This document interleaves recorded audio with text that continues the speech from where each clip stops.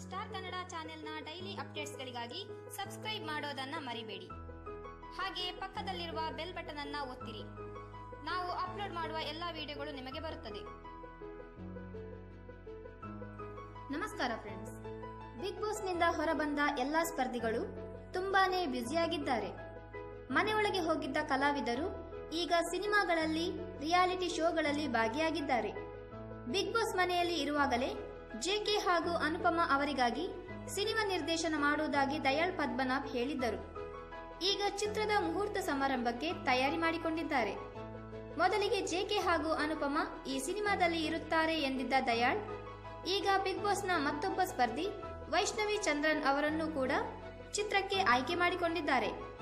ಈ ಸಿನಿಮಾದಲ್ಲಿ ಜೆಕೆ ಅನುಪಮ, ವೈಷ್ಣವಿ ಚಂದ್ರನ್ ಜೊತೆಯಲ್ಲಿ ನವೀನ್ ಕೃಷ್ಣ, ರಂಗಾಯಣ ರಘು ಮತ್ತು ವೀಣಾ ಸುಂದರ್ ಮುಖ್ಯ ಪಾತ್ರವನ್ನು ನಿರ್ವಹಿಸುತ್ತಿದ್ದಾರೆ. ಮೋಹನ್ ಹಬ್ಬು ಅವರ ನಾಟಕದ ಎಳೆಯನ್ನು ಇಟ್ಟುಕೊಂಡು ಸಿನಿಮಾದ ಕಥೆಯನ್ನಾಗಿ ಮಾಡಿಕೊಂಡಿದ್ದಾರೆ ದಯಾಳ್ ಪದ್ಮನಾಭ್. ಚಿತ್ರಕ್ಕೆ ನವೀನ್ ಕೃಷ್ಣ ಸಂಭಾಷಣೆ ಬರೆಯಲಿದ್ದಾರೆ. ಈ ವಿಡಿಯೋದ ಬಗ್ಗೆ ನಿಮ್ಮ ಅನಿಸಿಕೆ ಅಭಿಪ್ರಾಯಗಳನ್ನು ನಮ್ಮ ಕಮೆಂಟ್ ಬಾಕ್ಸ್ನಲ್ಲಿ ತಿಳಿಸಿ. ಹಾಗೆ ಸ್ಟಾರ್ ಕನ್ನಡ ಯೂಟ್ಯೂಬ್ ಚಾನೆಲ್ನ ಸಬ್ಸ್ಕ್ರೈಬ್ ಮಾಡೋದನ್ನು ಮರಿಬೇಡಿ.